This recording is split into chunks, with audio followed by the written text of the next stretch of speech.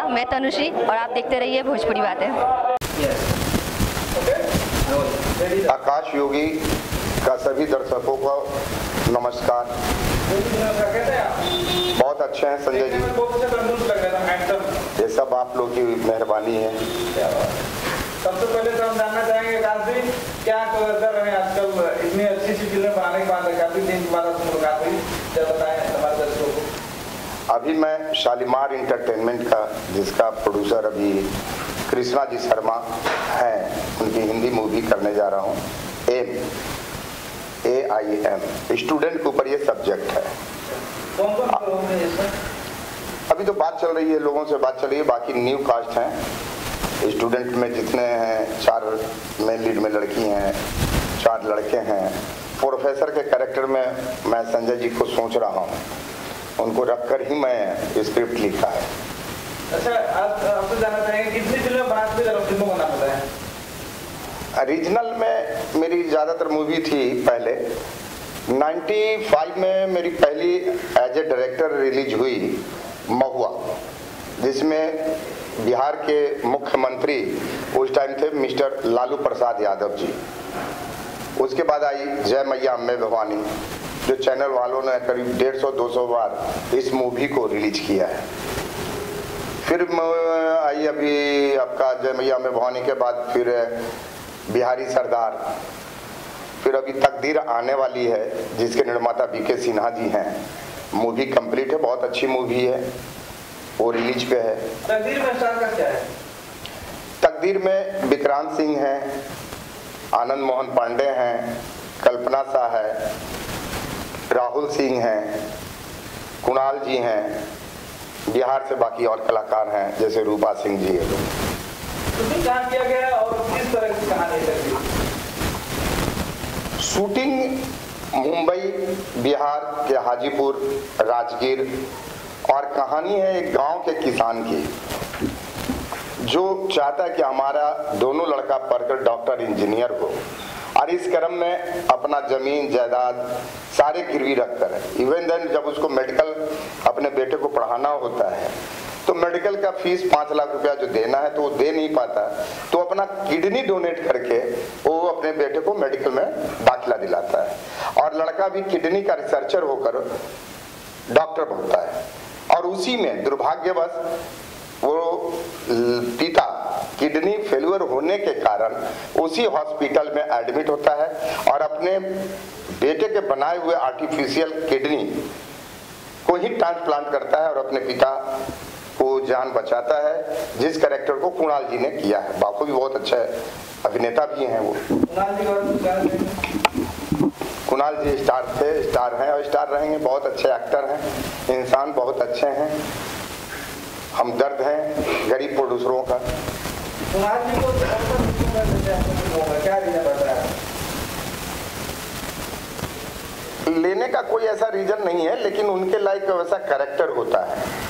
और मुझे लगता है कि कुणाल जी इसमें ज़्यादा अच्छे लगेंगे। जैसे जय मैया अम्बे भवानी में भी। वो कैरेक्टर में भी एक जमींदार पैसे वाले का कैरेक्टर था।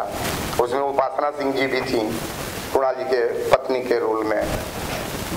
में भी पिता में तो मुझे लगा कि ये कैरेक्टर जस्टिफाई होगा इसलिए मैंने कुणाल जी को किया। आप जब विक्रांत को साइन थे फ़िल्म बनाया तो उनकी शादी नहीं हुई थी।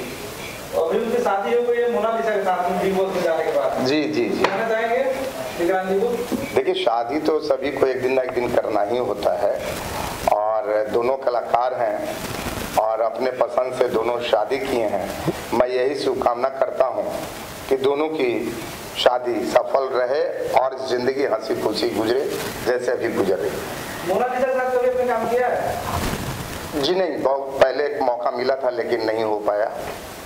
तो अभी आप शूट करेंगे जी को फिर शादी के बाद करेंगे। तो दोनों से ए, क्या कुछ कम्युनिकेशन हो सकेंगे कुछ मोनालिसा के भी में इसमें तो नहीं है लेकिन हमारी दो और भोजपुरी मूवी है जिसके गाने रिकॉर्ड कर चुका हूँ।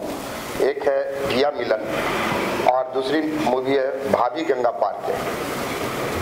तो मेरी ख्वाहिश है साथ में काम करने का कोशिश करेंगे। अगर वो समय दी तो मैं उनके साथ काम करूँगा। तकदीर की कब तक रिलीज़ तकदीर उम्मीद है सितंबर अक्टूबर दुर्गा पूजा के पहले। पिक्चर कंप्लीट हो चुकी है।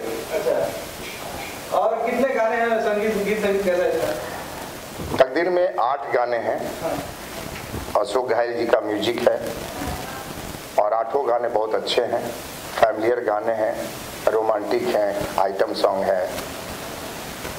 अशोक भाई जी काफ़ी दिनों से इंडस्ट्री में हमेशा चर्चा की विषय में रहता है कहाँ है कुछ बताएँगे अशोक घायल जी इन दिनों सुनने में आया कि वो रांची में है और कोई प्रोजेक्ट पे काम कर रहा है। वो भी हिंदी प्रोजेक्ट पे काम कर रहा है अभी। और आप क्या और हिंदी फ़िल्म बना रहे हैं? आप अभी तो एम को लेके चल रहे हैं। हमारे तकदीर के जो प्रोड्यूसर हैं वी के सिन्हा जी वो भी अभी एक हिंदी मूवी करने जा रहे हैं आफ्टर तकदीर। निशु इंटरटेनमेंट के तहत ही वो भी बनेगी। जय मैया के अम्बे भवानी के जो प्रोड्यूसर हैं कुमार संजीव जी वो भी एक हिंदी करने के मूड में हैं। लेकिन उनका जाएगा आपको सितंबर अक्टूबर कुमार संजीव जी का। तो बताएँगे मैं मूलतः रहने वाला बिहार पटना का हूँ। और बचपन से ही कुछ करने का शौक था। बचपन में लोग को देखते थे कुछ करते हुए चाहे पुरानी फ़िल्में देखते थे तो लगता था कि मैं भी ऐसा कुछ करूँ। कॉलेज लाइफ में मैंने स्टेज ज्वाइन किया। नाटक, करीब करीब हमने 50 60 नाटक किया हुआ है। एक्टिंग भी किया, निर्देशन भी किया। बहुत कुछ करने के बाद फिर एकाएक मैं फ़िल्म लाइन की ओर मुखातिब हो गया और भैया दूसरे हमारी करियर शुरू हुई। एसोसिएट डायरेक्शन में। अभी तक मैं फिर कंटिन्यू पहले आपने कई दशक देख भोजपुरी सिनेमा को पहले देखा पहले देखा, अभी भी देख रहे हैं। क्या बदलाव आया बदलाव होना चाहिए देखिए, बदलाव जिस तरह से पहले की भोजपुरी फ़िल्म बनती थी, अशोक चंदन जी का, चाहे मुकेश पाठक जी का, सोशल सब्जेक्ट, चाहे नजीर साहब का, उस टाइप का अभी नहीं है। थोड़े दुअर्थी गाने को लेकर और पिक्चराइजेशन को लेकर थोड़ा सा गड़बड़ाया है। लेकिन फिर स्वतः पटरी पर ये रीजनल मूवी भोजपुरी फ़िल्में आ रही है। और हिंदी के फ़िल्म के ही रीमेक बहुत लोगों ने कर दिया भोजपुरी में। तो इसके बाज़ार थोड़े खराब हुए हैं, लेकिन फिर वो अच्छा हो रहा है अभी। और इसी चीज़ को देखते हुए मैं भी अभी दो पिक्चर लेके मार्केट में जा रहा हूँ, पिया मिलन। फैमिली ड्रामा है, भाभी गंगा पार के तीन भाइयों की कहानी है। सॉरी जो संयुक्त परिवार, में अभी नहीं है लोग। शादी के बाद या शादी के पहले बहुत परिवार अलग अलग हो जा रहे हैं डिवाइड हो जा रहे हैं तो उस पर भाभी गंगा पार का मेरा सब्जेक्ट है। कुणाल सिंह, राकेश पांडे और कई आपके टाइम पे हीरो होंगे विलेन होंगे, जरा उन लोगों को और आज जो खेसारी दिनेश जो हीरो हैं, उन लोगों में क्या अंतर था लोग क्या कर रहे हैं? लोग आज के लोग फ़िल्में जैसी आता है, भोजपुरी सिनेमा टेलीविज़न चेंज करते हैं और उन लोगों को फ़िल्म अभी भी देखते हैं लोग। देखिए, कलाकार में परिवर्तन नहीं है। कलाकार तो राकेश जी, पांडे जी भी थे, कुणाल जी भी थे, जय तिलक सिंह थे, मनोज वर्मा थे, बहुत से कलाकार थे। कलाकार तो वही होता है, जैसे अभी दिनेश लाल जी हैं, चाहे रवि किशन जी हैं, चाहे खेसारी हैं। कलाकार में कोई गड़बड़ी नहीं है। कलाकार तो सब वही है। चेंज क्या हो गया? मेकिंग। जिस प्लॉट पे कहानी पहले फ़िल्में बनती थी नयाकरण करने के चक्कर में वो कहानी का मूल रूप ही चेंज हो गया। हमारी भोजपुरी की जो संस्कृति सभ्यता थी, वो बहुत कम गया। मैं जैसा संजय जी बताया कि आपको कि अभी जो गाने द्वर्थी जो आने लगे तो वो गाने एक ऑडियंस के लिए हुआ और मेन तबका जो ऑडियंस हमारे गाँव की थी, माँ बहनें, वो उससे दूर होती चली गई, इसलिए चेंज होने लगे। पहले थिएटर तक हॉल में होता था फ़िल्म। अब यूट्यूब पे है चैनल पे है तो बट नेचुरल है कि लोग नहीं देखना पसंद करते होंगे। आप क्या फ़िल्म बना रहे हैं? क्या बिज़नेस होगा? देखिए मैं इसके पहले भी फ़िल्म बनाया प्रोड्यूस भी किया स्क्रिप्ट भी लिखा उसमें लाल चिनगारी चलल लाल चिनगारी नक्सलाइट के ऊपर सब्जेक्ट थी फ़िल्म रिलीज़ भी हुई। व्यापार नहीं किया। मैं अभी भी कर रहा हूँ।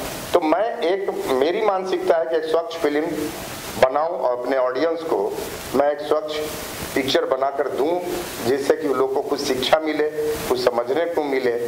व्यापार होना, ना होना तो मार्केट के ऊपर है। मेरा काम है एक अच्छी फ़िल्म बनाना, मैं बना रहा हूँ और बनाता रहूँगा जब तक मैं स्वस्थ हूँ।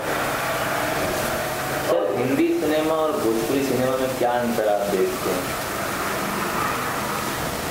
आपने दोनों सिनेमा बनाया इसलिए पूछ हाँ। हिंदी सिनेमा के देखिए, बाज़ार भी ज़्यादा है और बजट भी ज़्यादा है। उस हिसाब से लोग मेकिंग कर रहे हैं। भोजपुरी में भी बजट हो गया है आज के डेट में। लेकिन मेन वो प्लॉट आज हिंदी फ़िल्म भी बहुत से बड़ी बड़ी पिक्चर है। बड़े स्टारों की फ़िल्म देखिए, उतर जा रही है पिक्चर ऑडियंस को समझ में नहीं आ रही है। और वहीं देखिए टॉयलेट एक प्रेम कथा, अक्षय जी का। या एक और था अभी पैड टू पर, जो था वो क्या फ़िल्म का नाम था। तो वो देखिए पिक्चर सुपर डुपर हिट हो गई। तो आज हमारे हिंदुस्तान की ऑडियंस की आज भी मानसिकता उतना प्राउड नहीं हो पाया है कि जितना फॉरनर हिंदी मूवी में भी अभी आज के डेट में जैसा चल रहा है। तो कहीं ना कहीं घूम फिर के उसी जगह पे आना है जो पहले की हिंदी फ़िल्मों हुआ करते थे। राजेंद्र कुमार या धर्मेंद्र जी के टाइम में, जितेंद्र कुमार, जितेंद्र जी के टाइम में, मनोज कुमार। तो आप स्वयं देख सकते हैं कि क्या चेंजेज आया फ़िल्म मेकिंग में। एक्टर तो वही रहते हैं। नाम चेंज हो जाता है फेस चेंज हो जाता है, लेकिन अभिनय करने वाले कलाकार, अदाकार तो वही हैं। पहनावा, उड़ावा, कहानी का प्लॉट ये बहुत चेंज हो गया फार्मूला फ़िल्म हो गया। तो धूम धड़ाका से आदमी फैमिलियर पर्सनल अपने इतने डिप्रेशन और परेशानी में है कि दो घंटे सवा दो घंटे मूवी में हॉल में जाता है लोग एक अपने इंजॉय करने के लिए रिलैक्स होने के लिए। और वहाँ भी जाकर वही चीज़ को मिले उसको। मार धाड़ ये वो तो चाहिए लेकिन जितना ज़्यादा। अभी एक फ़िल्म थी ना आमिर खान की जो ठग ऑफ़ हिंदुस्तान का क्या बुरा स्थिति हुआ। अमित साहब जैसे लीजेंड एक्टर उसमें पिक्चर पे देखिए, पानी तक नहीं मांगी। तो बदलना पड़ेगा। आज भी हिंदी फ़िल्म के गाने आते हैं, आप सुनेंगे और तुरंत दिमाग से हट जाएँगे। पुरानी फ़िल्मों के गाने आज भी कहीं म्यूज़िक बजेगा, आप पकड़ लेंगे कि वो फ़िल्म के वो लाइन है, वो गाने हैं। तो हम मेकरों को चाहिए चाहे हिंदी के हों या भोजपुरी को हों कि फिर ये समय चक्र जो चलता है और चेंज होता है तो फिर उसी दूरी पे आए और उस टाइप का स्वच्छ फ़िल्म बनाए सब्जेक्ट बनाए रखें अपने ऑडियंस को दें और देखिए फिर व्यापार अच्छा होगा फ़िल्म चलेगी तो आपको लगता है अगर हम पुरानी फ़िल्म बनाए तो चलेगी अच्छा लगता है आज press the bell icon on the YouTube app and never miss another update.